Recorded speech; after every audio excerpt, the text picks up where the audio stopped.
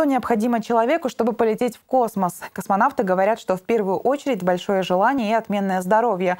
Об этом сегодня узнали ученики школы номер 4. Там прошла познавательная игра «Космический рейс», которая помогла ребятам узнать, есть ли у них шансы своими глазами увидеть Вселенную.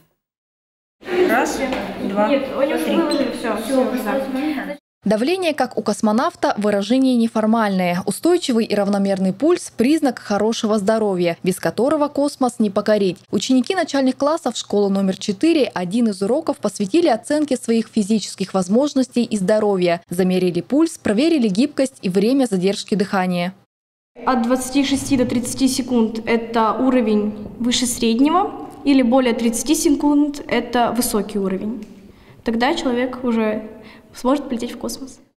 В четвертой школе действует кружок для седьмых классов «Планета X», который является частью всероссийского одноименного проекта. Он объединяет ребят, интересующихся темой космоса. При активном участии Героя России, летчика-космонавта Александра Лазуткина, школьники всей страны постигают тайны Вселенной. Он присылает полетные задания, у него есть а, ключевое слово для нас. Он нам пересылает телеграмму в виде полетного задания. Мы выполняем на нашей планете Земля и отправляем ему эти данные, которые он нас просит.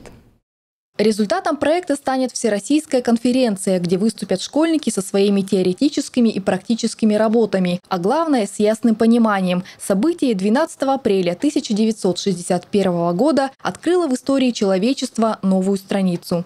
Сейчас эта дата, мы надеемся, тоже привлечет внимание многих школ, многих учеников.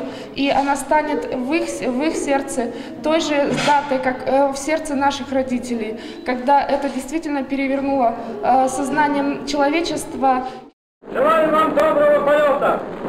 Я Заря-1, мы сейчас желаем вам доброго полета, все нормально? Поехали! Валентина Чибичек, Вадим Носкин, телеканал «Север».